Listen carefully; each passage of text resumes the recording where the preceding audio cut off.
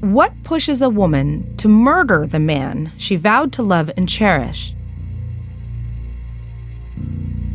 We all know that women are less prone to violent crimes than men. The Department of Justice reports that men actually commit 90% of the homicides in this country. But when women do kill, in over 50% of the cases, their victims are their intimate partners.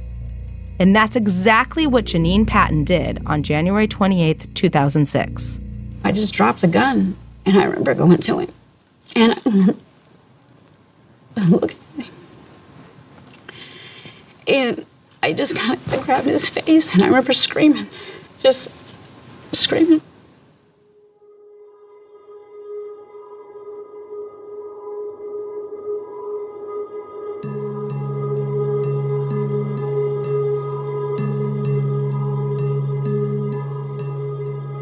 My name is Dr. Michelle Ward. I'm a criminal psychologist and trial consultant. I've spent my career researching hundreds of murder cases to determine what drives someone to kill. Because the more we understand about criminal behavior, the better chance we have at preventing it in the future. When Investigation Discovery asked me to go behind prison walls to talk face to face with six violent killers, I had no hesitation in saying yes. Most crime shows are whodunits, but this is different. I want to know why they committed their crimes and go inside the mind of a murderer.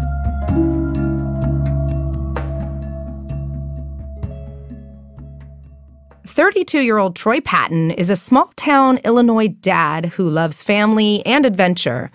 He drives a motorcycle and he skydives, and everyone said he was the life of the party. Here's his sister, Lori. They were very close. Troy was funny. He was always cracking jokes. Everybody loved him, loved to be around him. His first marriage unfortunately ends in divorce, and he winds up becoming a single father to his adorable little girls, Brittany and Jessica. But Troy is the kind of guy who believes in love, and he eventually gets remarried to 33 year old Janine, who takes his last name. His mother, Lola, is thankful that he has the happiness he deserves. I was just really had high hopes. But just two years later, on January 28, 2006, Janine Patton fires a shotgun right into her loving husband's head. After claiming Troy's death was an accident, she changes her plea to guilty of first degree murder for less jail time. She's sentenced to 30 years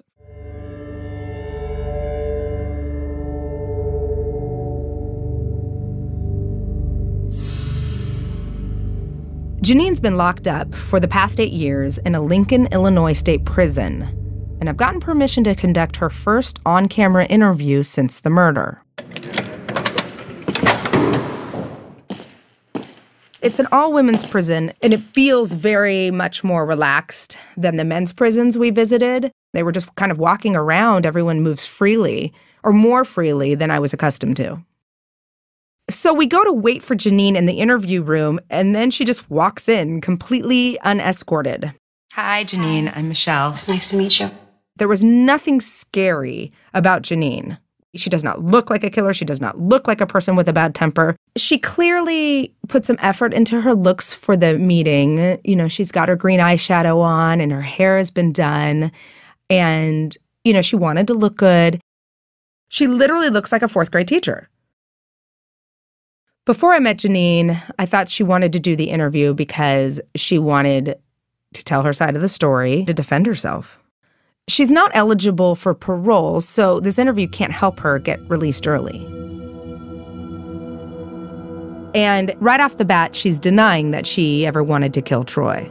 There's never been a time that I wanted him dead. Not a moment you wanted him dead during that fight. Never. I mean, I would get angry with him, but I never thought I could live without him. So naturally, she's going to stick to her same old story, at least in the beginning, and I expect that. But it tells me that I am going to have to be a bit more strategic if I want to understand the whole truth of why she murdered her husband.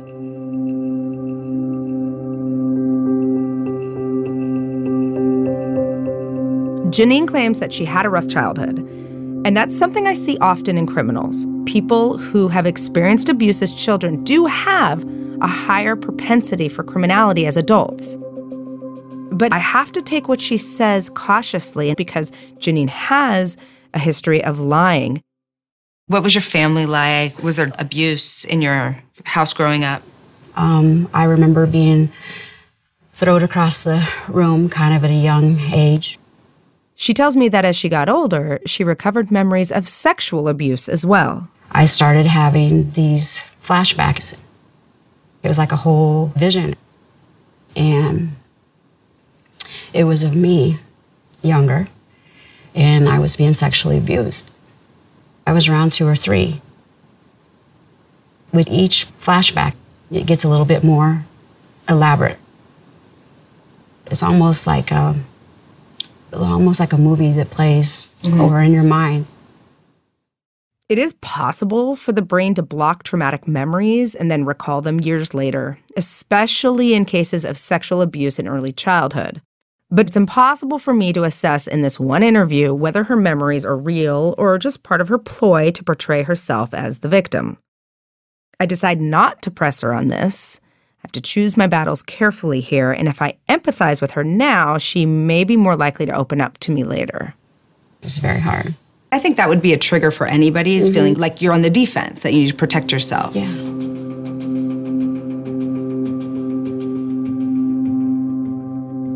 Janine marries young at age 22 and has a child, but it doesn't work out, and she claims she was mistreated yet again. We just kind of fell away. I held on as long as I could, and then I just I got out of the marriage. And how about your second marriage? I walked right out of one into another, and I knew the day that I got married. I should be getting married.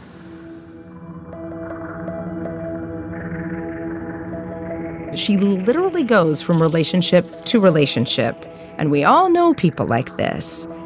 It's what I call monkey bar relationships.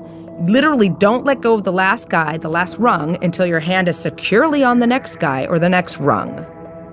These people are never single for very long because they're deathly afraid of being alone.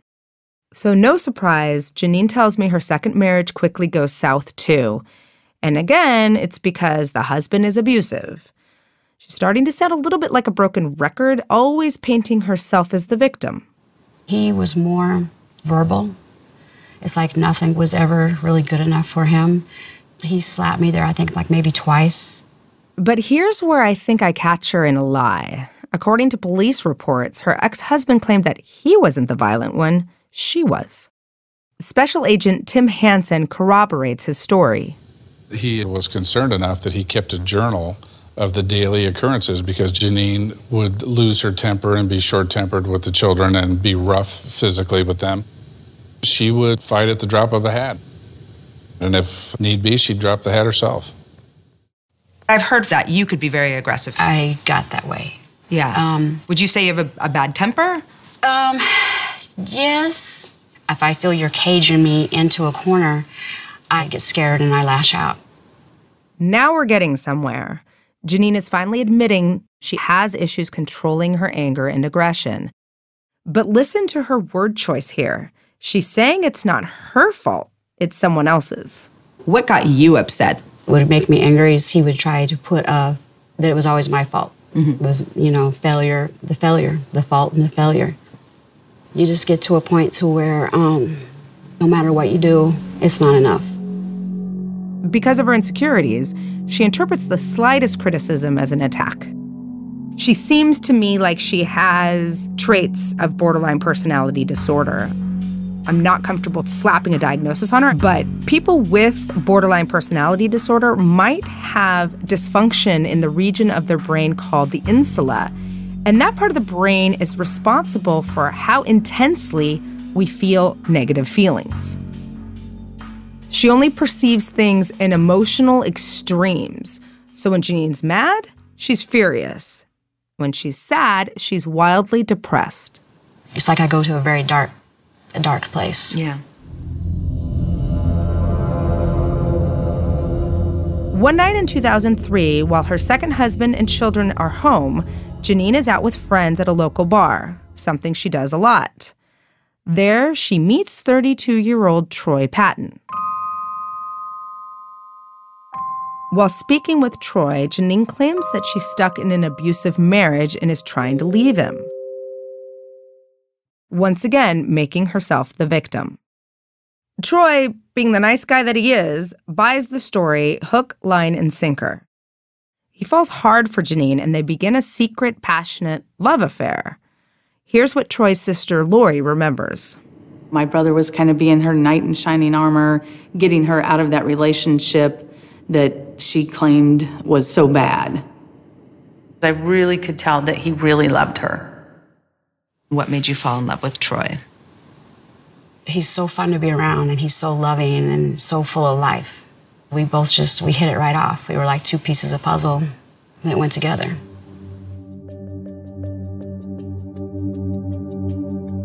Another hallmark of borderline personality disorder is something called splitting. And that is when you view the people in your life as either a hero or a villain. And they can become a hero or a villain overnight and switch back and forth. Janine probably idealized her second husband, but at this point, he's gone from hero to zero. So Janine left her husband and moved right in with Troy and his two daughters in late 2003. Just a few months later, they got married. I didn't think I would ever get married again. And I didn't really want to, but then I, I, you know, I loved him so much that I did. At the beginning, everything was rosy for Janine and Troy, but it's inevitable that the pendulum will swing the other way eventually. What would get you going? What what would upset you about Troy? We both would get verbal with each other. And I would get caged in if he'd come real close to me. I get I lash out. It was a trigger. There it is again the sense of being caged in, even when she's the one who starts the fight. So at this point, Janine starts to get physical with Troy, even in front of the children. There's a fight. Could you tell me a little bit about that?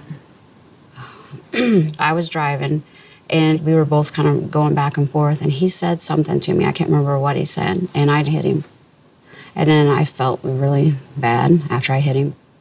I can see that Janine's getting uncomfortable now. She wore it all over her face. She was sweating, her lips were pursed, she was trembling a little bit. You can almost see what happens to her biologically. You can see it as it's happening. According to Troy's sister Lori, Troy played down Janine's physical abuse.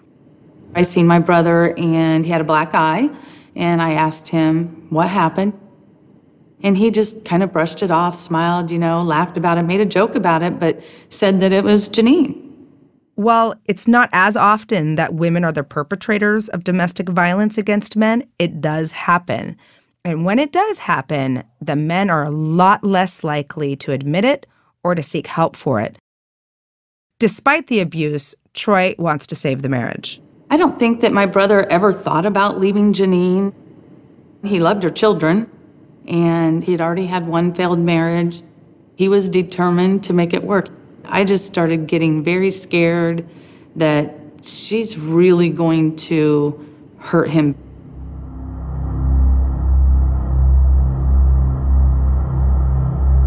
It's not long before Janine goes back to another old pattern. In December of 2005, she's working as a nurse in a healthcare center and starts an inappropriate relationship with a patient. Eventually, the patient reveals lurid details of their sexual affair to staffers. But Janine claims it's a gross exaggeration. Were you ever intimate with him at all? Um, we had kissed, yes. And that's really about it. There was only kissing. Yes. Janine adamantly denies the affair, but once she realizes the truth's caving in on her, she dumps her first story and accuses the patient of raping her. You said you were raped by this man. He tried he tried to um, take advantage of me down in my office, yes, but he didn't actually he didn't what I want to say. He tried to, you know,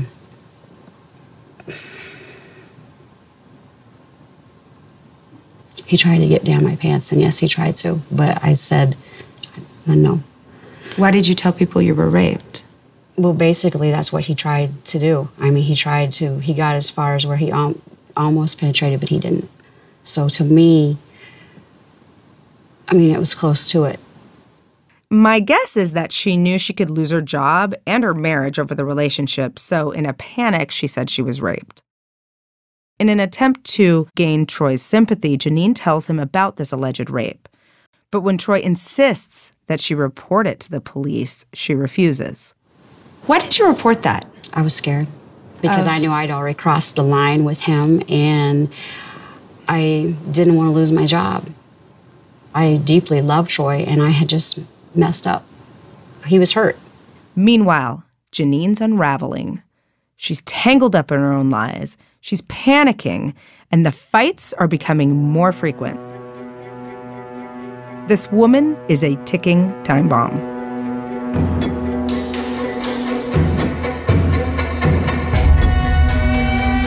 On January 27, 2006, Troy and Janine meet up at a bar after work.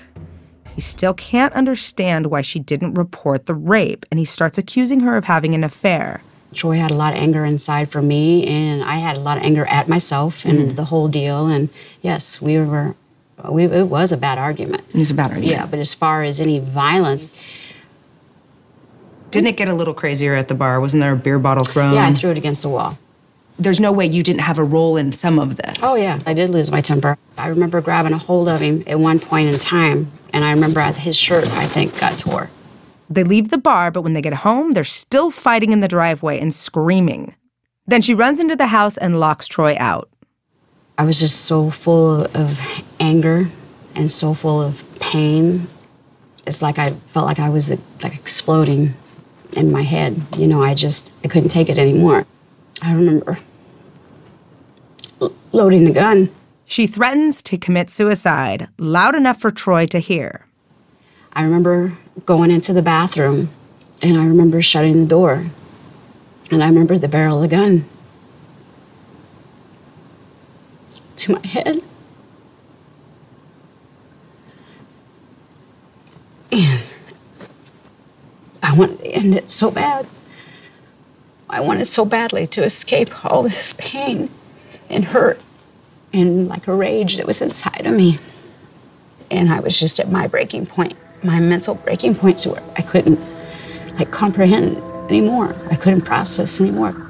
To me, this seems like an emergency tactic. She sees that this is spiraling into him realizing she had an affair, blaming her, and so she pulls the suicide card. So at least he backs off for a minute and the focus can be on that while she regroups. That shifts the environment, shifts the schema. Now he's going to come to her rescue or to her aid, or at least stop pestering her at the moment. Walk me through the next few steps. Um, I guess he kicked in the door. I didn't even hear that. He kicked the door down. I mean, in. It was I don't know that's broken. what they said, and I didn't. I didn't hear it. you didn't hear it. I didn't hear it. You walk out of the bathroom with the gun. And then next thing I know, I see something like fall. I didn't hear the gun. I asked myself st- still to this day, how do I not hear a gun go off? When I realized that he was like slumped down against the bed, I'm like, I couldn't figure out what the hell had happened. And I just dropped the gun, and I remember going to him. And I remember looking at me. And I just kind of grabbed his face, and I remember screaming, just screaming. The gunshot took Troy's right ear off and exited out of the back of his skull. The wound is massive. His pulse and breath are fading fast. He dies two hours later at a local hospital.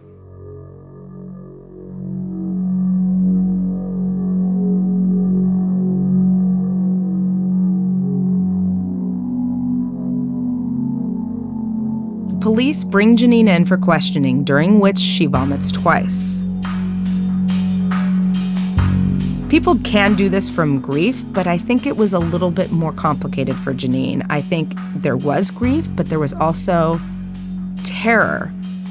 She was worried about herself. She knew that she was going to go to jail if she couldn't get her way out of this mess. Here's Special Agent Tim Hansen again. She gave the impression of someone who was suffering, someone who was a victim. Something just didn't seem right about the way she was expressing herself. Janine would cover her face and cry. I could see her looking at me between her fingers, like a child might do when they're crying and they're not really crying. Janine initially tells cops that she thought an intruder had broken in. She claims she didn't see it was Troy. She says it was dark because the light was off, and rather than run away from this intruder, she shoots at him. But later, she changes her story and says the lights might have been on. The lights. Were they on or were they off? I think he was flipping it on. It was like a flash of the light and the movement. I told you there's bits and pieces I don't remember. So the light came on. I think And that's then what you he was shot doing. him. Yeah. It was kind of like about the same time. Because, like I said, I seen the movement and, Because he's facing you. He's Yeah. facing you when you Yeah. shot him. well, kind of, yeah.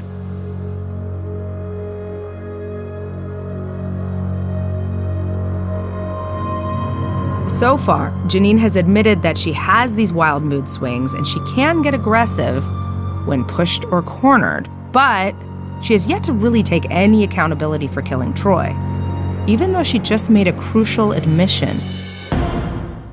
The lights were on. Now I know she's lying, so I'm going to switch gears and I'm going to admit her story doesn't hold much water and maybe she'll be pushed into telling me the truth. People would believe you if you said, I was pissed. We were in a fight. I I, wanted him dead for a moment. And I want to hear you say it. I can't say that I would try to kill him because that's not what I was trying to do. Was I pushed to the brink of breaking? Yes, I was totally there. You don't, your mind's just like and when you realize that you've, you, I couldn't believe that, you know, the gun went off. So no matter, I had to pull the trigger. I had, you know, it was just, it was so much for me. That's as close to a confession as I'm going to get. It's frustrating to say the least that she won't take clear responsibility for her action in this one tragic moment. Janine is charged with first degree murder and put in jail to await trial. But even prison can't stop this incredible urge to not be alone. According to detectives, she begins writing love notes to a fellow inmate. She just killed her third husband, and she already has a new love interest. It's always this pathological need to be in a relationship. And the letters were never made public, so Janine does not know I've seen them. I had the letters in my hand. I read them. I don't even, I don't, I really don't know what you read then. No, I know in the county there was a young gentleman. He was he was sending notes. We would write each other, but And you said you loved him and you were his future wife. future wife. I don't even I don't remember writing anything about a future wife. You said you wanted to have a child with him. Well, that is kind of impossible because I can't have any more children. So I did love him as a friend, but I would have never wrote that. Janine is glaring at me. Her eyes are black with fury. She's completely livid because she knows that these letters show that she didn't have a whole lot of remorse over Troy's death.